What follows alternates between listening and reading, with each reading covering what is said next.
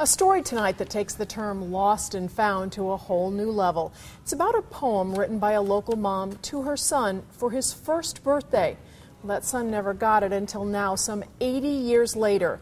Maria Antonia went to Lenexa for the story of this long lost message. Maria?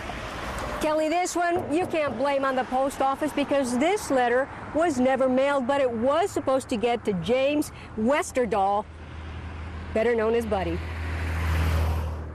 just makes you want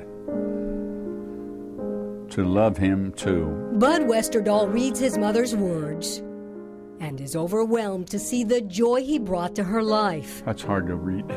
The image the 82 year old has of his mother, Florence, is her 1920 wedding picture.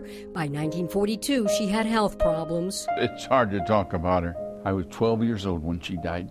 It was rough. No one's sure why Bud never got the letter. His cousin found Florence's poem a few months ago, tucked in a box filled with family belongings. She just said, Bud, here's something that you ought to have. I looked at it and I thought, what in the world? And with each glance at the poem, Bud sees more of the mom he lost as a child. That's pretty special. Probably ought to frame it, put it under her picture.